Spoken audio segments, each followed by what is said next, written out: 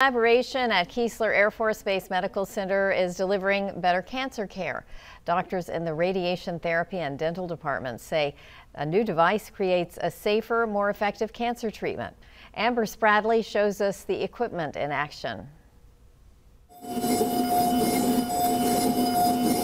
One creative idea, two squadrons teamwork, and 3D printing. That's the blueprint for Keesler's latest medical innovation. We have a conventional workflow that we've relied on in the past, and we have found that this digital solution surpasses. It was a game changer. Dr. Jason Hayes is the medical director of radiation oncology. He treats about 110 patients with radiation every year, but he says those treatments have only been about 90% effective. That's not perfect, and even if we tape this down, there's air gaps between the skin and that can interfere with the dose that we can deliver to the patient. He took this to the 81st Dental Squadron. I can make any kind of shape, any kind of surface needed. It's got to be able to be removed and put back on the patient uh, every day um, in exactly the same position.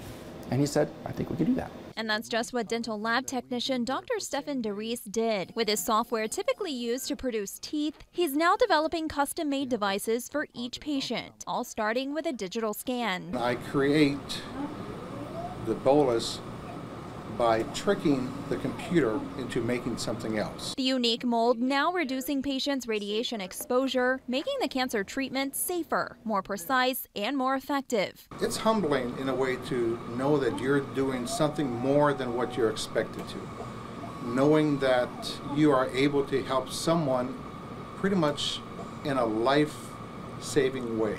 Keesler Air Force Base, Amber Spradley, WLOX News Now. And Keesler medical officials say that with the new custom mold, radiation treatment is showing 97% accuracy. And that's about 7% more effective than with the conventional device, they say. And they're now working to share their innovative ideas with other medical facilities.